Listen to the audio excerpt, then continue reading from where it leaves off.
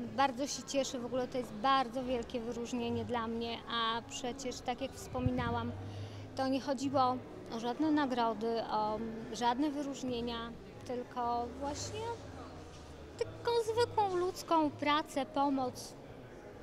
No nic innego naprawdę. Jak się pani dowiedziała o tym, że zgłosiła ją Sandra, to jaka była reakcja? No dosyć szybko, dlatego że ona y, nie miała wszystkich danych.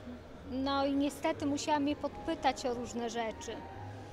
I ym, to już było w trakcie pisania nawet. Pisała tą rekomendację. To już, no już się dowiedziałam. Pomysł fajny, miły. Proszę powiedzieć, bo mm, oprócz pani zostało wyróżnionych dzisiaj jeszcze czworo finalistów. Poza tym jeszcze nagrody dodatkowe. Czy te osoby były gdzieś pani wcześniej skądś znane, czy to są pierwszy raz spotkane? Nie, nie, nie znałam tych osób, ty, tylko y, z internetu. Czytałam sobie o każdej osobie, każdą osobę przeczytałam, każdej życiorys. Tak powiem, że bardzo się już zaprzyjaźniłam z panią Judytą Borg, ale to tak y, internetowo, a dzisiaj się poznałyśmy. Naprawdę osoby niepełnosprawne niech się nie zamykają w domu. Niech robią to, co uważają za słuszne, za o czym marzą, niech spełniają swoje marzenia i, i niech wychodzą z domu przede wszystkim.